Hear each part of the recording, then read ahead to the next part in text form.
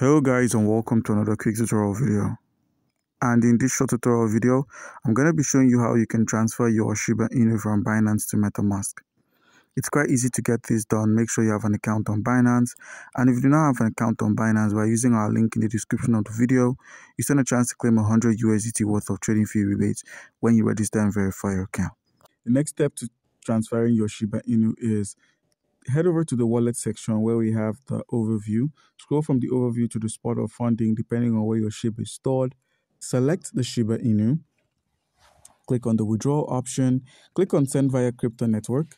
And now we're taken to the send SHIB menu. We can fill in the necessary information from MetaMask. So when your MetaMask opened up, make sure you have the Shiba Inu token on your wallet presently.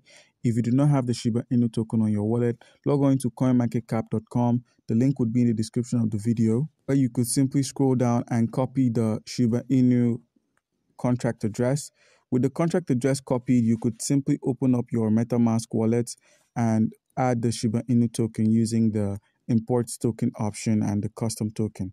So all you need to do is simply paste the contract address and information would be filled automatically. The token symbol and the decimal would be shown and you click on import.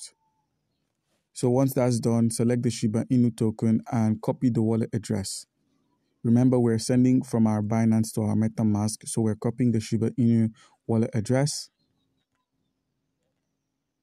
Click on the receive option, copy the wallet address, minimize, open up your Binance, paste the address there. The network is the ERC20, that's where we're sending from. Enter the amount you wish to send and click on the withdrawal option.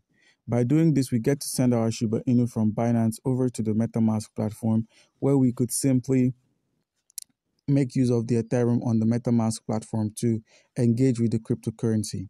So guys, do comment down below if you have a question and you'll be given an answer. Thank you.